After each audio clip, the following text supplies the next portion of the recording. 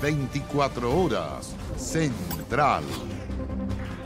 Llegó el turno del romanticismo y los mariachis en la Quinta Vergara. El cantante mexicano Alejandro Fernández abrirá la tercera noche del Festival de Viña del Mar, donde anticipa que hará un homenaje a su fallecido padre.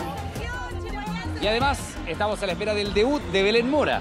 Y vamos a vivir todos juntos el regreso de los Jaivas. En el llamado caso Narumi, el abogado de Nicolás Cepeda no se presentó a la audiencia, por lo que el juicio de apelación fue aplazado para el jueves. Para este jueves a las 9 de la mañana se aplazó el juicio de apelación de Nicolás Cepeda, condenado a 28 años de cárcel por el crimen de Narumi Kurosaki. Esto luego de que quien fuera su abogado hasta este martes no se presentara ante la corte. ¿Qué fue lo que pasó? Se lo contamos en unos minutos. El presidente ruso Vladimir Putin suspendió último acuerdo con Estados Unidos para el control de armas nucleares. Advirtió que llevará la guerra en Ucrania hasta el final.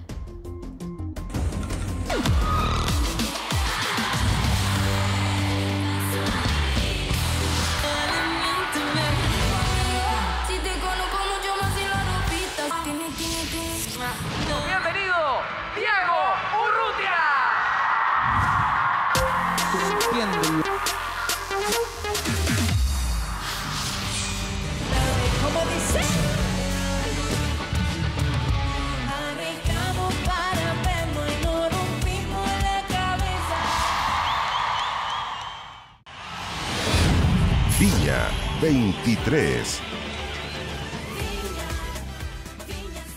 Muy buenas noches, bienvenidos, bienvenidas a las noticias cuando estamos a solo minutos de que comience la tercera jornada del Festival de Viña del Mar, la jornada más tradicional después de dos noches de corte marcadamente juvenil, sobre el romanticismo de Alejandro Fernández, sobre el regreso de los Jaivas a la Quinta, nos cuentan Iván Núñez y Carolina Gutiérrez desde el interior de la Quinta, cuando ahí vemos imágenes, nuestros equipos desplegados, la vista aérea también del ingreso del público a esta hora a la Quinta Vergara. Iván, Carolina, ¿cómo están? Buenas noches. ¿Qué tal? ¿Cómo te va, Constanza? Buenas noches. Regresa el romanticismo a la Quinta Vergara. Y fíjate que los celulares dan paso ahora a los carteles porque el público también ha comenzado a cambiar y lo vamos a mostrar porque hoy día vuelve Alejandro Fernández, Carolina. Claro que sí, vuelve el potrillo, será su cuarta vez aquí en la Quinta Vergara, tiene 51 años y pretende poner entonces el romanticismo a esta noche. Vamos a ver el siguiente informe.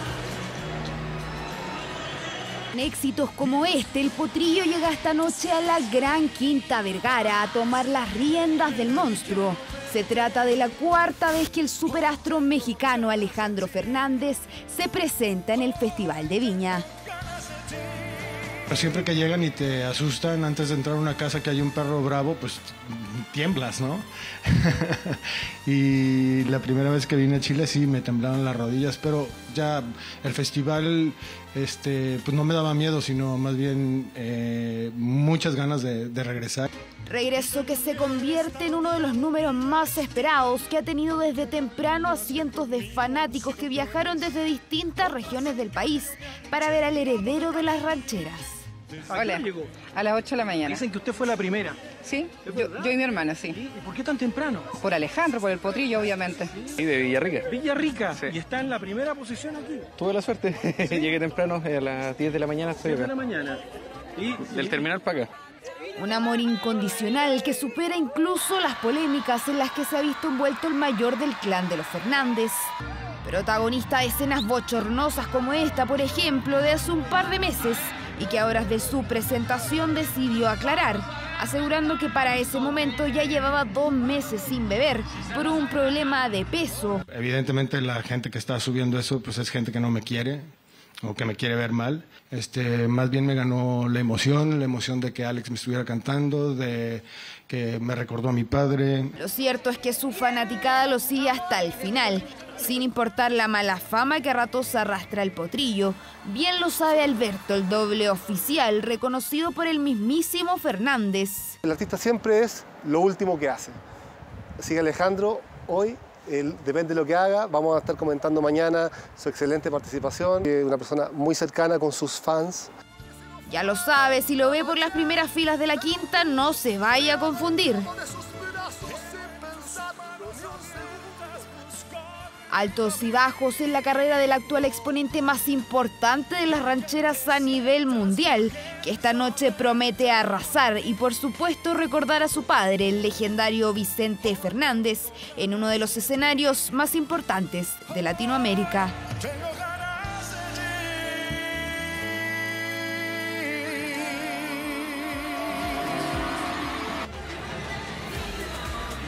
Aquí ya lo están esperando al potrillo Alejandro Fernández. Pero anoche, sobre este escenario, desde Temuco y con solo siete días para preparar su rutina, el nombre de Diego Urrutia quedó grabado aquí en la historia de Viña del Mar. Debe ser un debut soñado, ¿ah? nervios de acero podríamos decir. La verdad es que tuvo un par de días nomás para, para preparar una rutina, cinco días en lo concreto. Se llevó los premios, encantó al público. También festejó hasta tarde. ¿Cómo fue el paso de este humorista que se ha hecho famoso a través de las redes sociales? Lo vemos a continuación. Like para parte 2. Me encanta, me encanta. Muchas gracias, Viña. De TikTok a la Quinta Vergara, el comediante Diego Urrutia conquistó al monstruo en su primer paso por el Festival de Viña, con una rutina que preparó en una semana.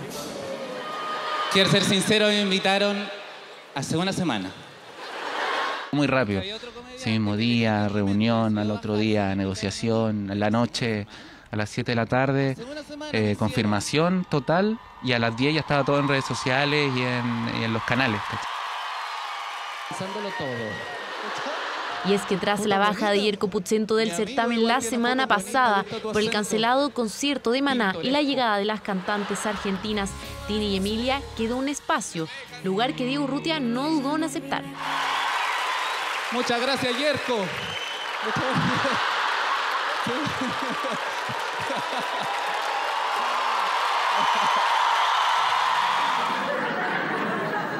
Esta acá. El oriundo de Temuco ha estado en diferentes stand-ups desde 2015. En 2020 comenzó a subir videos de humor a diferentes redes sociales y su nombre empezó a ser reconocido y los likes se convirtieron en aplausos. Caso cerrado con la doctora Ana María Polo. Cállate la boca, le dice la doctora. Tú no eres nada, tú eres basura, tú eres mierda, tú eres feca, feca, feca, feca, feca, feca, feca, feca, feca, feca, feca. Recuerde, sea cortés, ande con cuidado, respete. Una sorpresa de último minuto, una quinta que se rió junto a Diego Urrutia y que le dio las dos gaviotas. Un paso que seguramente marcará un antes y un 28 después en su carrera. Gaviota de oro para Diego Urrutia.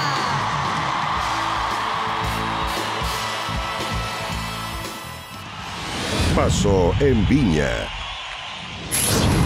Hablemos de penetración. La de la música urbana ha sido fuerte. Hace cinco años al festival vinieron solo tres artistas del género y esa vez la gente intentaba explicar de qué se trataba el fenómeno. Igual, he pasado para la puerta, he visto así fiestas así que te cabros de 15 años que están perreando así y uno queda para adentro.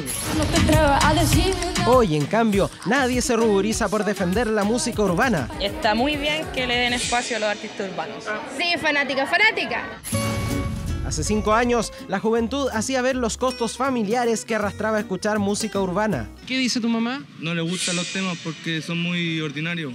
Algunos confesaban consumir incluso algo más fuerte. Que me gusta más el trap ahora, todo eso. Nos sorprendía que se refiriera así al tap, pero nos explicó, estaba hablando de trap. ¿Qué es el trap? Es como el reggaetón, pero más ordinario. Hoy, la música urbana está en boca de todos, la gente canta. Mis amigas me dicen que era medio perrito. Y yo. Y yo. Hace cinco años, un menor lo intentaba hacer en la playa y se alertaba a su madre. ¿Qué vas a hacer con la música que está escuchando? Yo le pongo música infantil. Mazapán, de pronto. No, Mazapán no le gusta, la encuentra fome. Hoy, la gente canta. Con el de ningún culito. Y aquí me tiene hablándote bonito. Y Y hace cinco años uno de los Zion y Lennox nos aseguraba que esto no iba a morir. no va a morir. No va a morir, no va a morir. Hay reggaetón para largo. Ja, pensamos, con el H decían lo mismo, pero esta vez fue cierto. Si dejo tiempo, no salgo hace tiempo, tú dime dónde estás. Pasó en Viña. Y a minutos de que comience la tercera noche del festival, invitamos a que ustedes interactúen, que ustedes nos digan quién es tu artista favorito de esta noche. Lo, sé, lo hemos hecho durante todas las jornadas. Aquí está, Los Jaivas, Alejandro Fernández o Belén Mora. ¿Qué es lo que hay que hacer? Hay que ingresar a tvn.cl o a 24horas.cl o escanear también ese código QR que aparece en pantalla y participar con nosotros. Así va la votación, que va cambiando y se va actualizando de manera automática. Los Jaivas van liderando la noche de hoy en las preferencias con un 58,6%, Alejandro Fernández con 32,7% y Belén Mora, la humorista que subirá hoy día a la quinta entre el romántico de Alejandro Fernández y los Jaivas, 10,7%. Ya, ya va subiendo ahí, vean cómo va cambiando la votación. Vamos al túnel donde está todas las noches Kevin Felgueras ahí para ser protagonista o testigo del paso de los artistas que hoy día se subirán a la quinta. ¿Cuál es el ambiente hoy día en la noche, Kevin? ¿Cómo estás? Connie, conectábamos un minuto y medio antes y te mostraba dos cosas en vivo. Uno, la llegada de Belén Mora, Ya. a quien le hicimos entrega de un regalito que le teníamos. Ella venía llegando y empezamos a escuchar a alguien eh, como vocalizando. Nos encontramos de frente con Alejandro Fernández, así que personalmente le dije, Alejandro, ella es Belén, ella viene a hacer el humor hoy día, se conocieron, se presentaron, Alejandro le deseó todo el éxito a Belén. Eso pasó hace un minuto y hace 30 segundos pasó el influencer, youtuber, conocidísimo Luisito Comunica por acá, estuvo conversando con nosotros, nos sacamos hasta una foto porque obvio son redes sociales, eh, hay que hacerlo. Pasaron también hace un rato nada más los mariachis de Alejandro Fernández, quien ya está en la Quinta Vergara. Para alguien que pueda estar desde la galería viendo este noticiero, está dentro de la Quinta Vergara Alejandro Fernández, quien hizo hoy una prueba de sonido. También lo hicieron los Jaivas, que hoy eh, empiezan una eh, serie de conciertos que ya partieron en algunas regiones del país, pero este es un hito importante, volver a casa, decía Juanita Parra en conferencia de prensa uno a uno que tuvimos también la oportunidad de conversar con ellos. Vuelven a casa, vuelven al lugar donde casi nacieron, donde jugaron cuando chicos jugaban a ser músicos y ahora vuelven al escenario más importante de Latinoamérica. Hoy estarán los Jaivas celebrando 60 años con un reconocimiento bien importante que se les va a entregar. Todo eso ocurrirá en los próximos minutos allá en la Quinta Vergara. Nuestros equipos están desplegados, tenemos las imágenes ahí. Ya está llena al menos la galería y sigue ingresando el público. Con esa imagen nos vamos a la pausa. Ya estamos de vuelta con más noticias en 24 horas centrales. se mueve por ti, como un río que bailando va hacia el mar. Vive De vuelta en las noticias, formalizan a cuatro oficiales de la FAT eh, por eh, el accidente mm, del accidente Hércules C-19, C-130, perdón, en el mar que se cayó, digamos, en el mar de Drake. Han pasado poco más de tres años desde esa fatídica tarde en la que se perdió el contacto del Hércules C-130 con 38 pasajeros a bordo, una de las mayores tragedias aéreas de nuestro país. Este martes se realizó la formalización de cuatro oficiales de la FACH por su presunta responsabilidad en el accidente. el día 9 de diciembre del 2019, el comandante de aeronave Sinestrada, el señor Ítalo Medina Quiñones, voló en condiciones inseguras, entre otras por las fallas que manifestaba la aeronave. El Ministerio Público imputó cargos por cuasi delito de homicidio con resultado múltiple. En su presentación, el fiscal detalló una serie de desperfectos que habría tenido la aeronave en las horas previas a su despegue. Estas comunicaciones dan cuenta de que la aeronave presentaba, entre otras, algunas fallas. Una de ellas el falla del, actu- del actuador del all-cooler flap del motor número 3 del avión, accesorio que permite el enfriamiento de aceite del motor, entre otros. A esto se suma la posible falla de uno de los medidores de combustible del avión, Los cuatro imputados, entre ellos el excomandante en jefe de la Cuarta Brigada Aérea, el general Eduardo Mosqueira, quedaron con arraigo nacional y firma mensual. Desde la defensa solicitaron un plazo acotado de investigación. Casi cuatro años de investigación que se cumplen en diciembre del 2023. Todos los antecedentes que eh, constan eh, que ha tenido a la vista el Ministerio Público. Y es por ello, señoría, que propongo un plazo de 100 días. 100 días me parece absolutamente improcedente. Estamos hablando de 38 víctimas fatales. Los colegas, sinceramente, y lo digo con mucha responsabilidad, saben precisamente lo que ha costado investigar esta investigación. Finalmente, el tribunal decretó un plazo de ocho meses para el desarrollo de dicha investigación. Es un primer paso y es el primer paso de otros que van a venir. Nosotros hemos realizado distintas diligencias, las víctimas y nosotros como equipo hemos encargado pericias a ingenieros aeronáuticos, expertos, El próximo 8 de marzo podrían presentarse nuevas querellas y no se descarta que el Ministerio Público anuncie nuevas formalizaciones. Nosotros lo que esperamos es que esto se haga justicia, que paguen con cárcel, no queremos que paguen con arresto domiciliario. Nosotros como familia hemos sufrido muchísimo. Ha sido doloroso, tres años, dos meses, pero esto para nosotros es un gran hito. Como que doblamos la mano al destino. Desde la parte querellante consideran que incluso hay responsabilidad en altos mandos, una investigación de largo aliento que recién comienza para establecer qué fue lo que realmente pasó ese día cuando el Hércules C-130 se desintegró en el mar de Drake camino a la Antártica.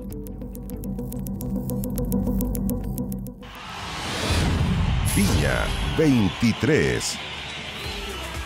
Cuando ya quedan solo minutos para que comience la tercera noche del festival, estamos de vuelta con ustedes en la Quinta Vergara. Iván Núñez, Carolina Gutiérrez, tenemos también a Kevin Felgueras ahí en el túnel. ¿Cómo está la preparación, el ánimo? Me imagino que ya está repleto ahí en la Quinta Vergara, ¿o no? Así es, eh, Connie no solamente está repleta la galería, sino que estamos todos juntos porque hoy día vamos a celebrar los 60 años de historia de los Jaivas. Claro, una agrupación emblemática de nuestro país y decirte, Constancia, de ustedes en sus casas que también se ha visto un cambio bien evidente de público. ¿ah? Ayer y antes de ayer, cuando salían los artistas, los celulares con sus lucecitas, todos en vivo, haciendo sus streaming, hoy día los letreros, las señoras, los matrimonios que han llegado aquí a ver, por supuesto Alejandro Fernández, como tú bien decías, a los Jaidas, que van a celebrar 40 años desde la primera vez que se presentaron acá y 60 años desde que existen como una de las agrupaciones musicales más importantes de nuestro país. Lo revisamos a continuación.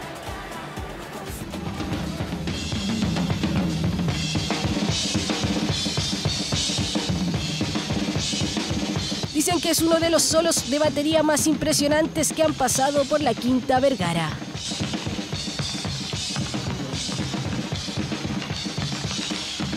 Febrero de 1983 en el Festival de Viña del Mar y este endiablado malambo de Gabriel Parra pasaría la historia por exactos 40 años.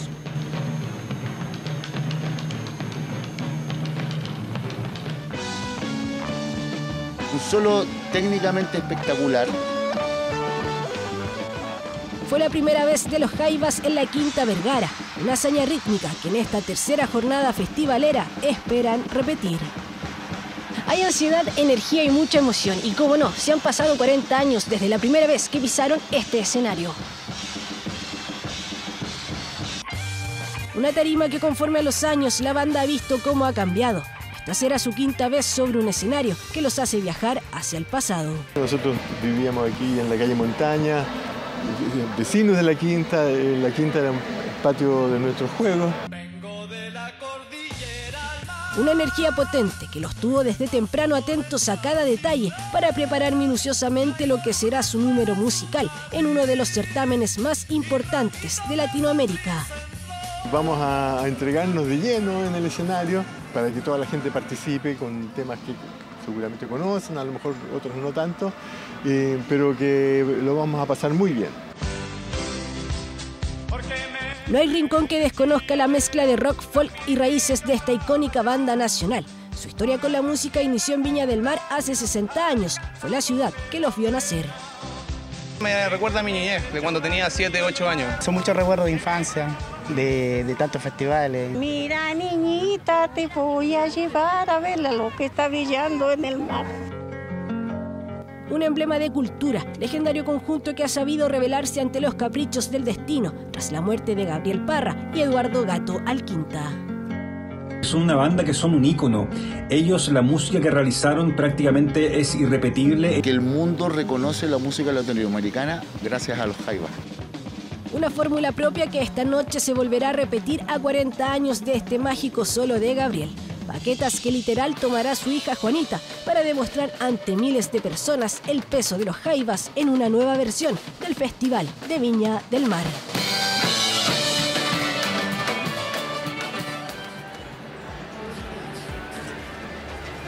Vamos a tener un reencuentro con los Jaivas, pero también vamos a tener un reencuentro con una debutante en el humor, que es Belén Mora, y por supuesto todas las canciones románticas del potrillo. ¿Cuál es mi canción favorita?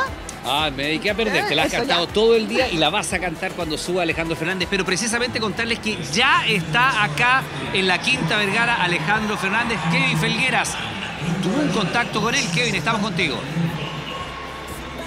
Iván Carola, porque vivimos uno de esos momentos festivaleros que solo se viven en el túnel donde hemos estado todas las noches junto a Marco Cabrera, junto a Belén Mora, la humorista que va a sacar las carcajadas hoy en la Quinta Vergara. Íbamos pasando, de hecho ella besó la foto de Alejandro Fernández en un poquito de humor, pero de repente empezamos a escuchar que alguien vocalizaba en el túnel. ¿Sabe qué?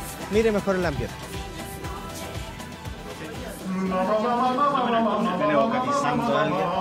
Tú cantando.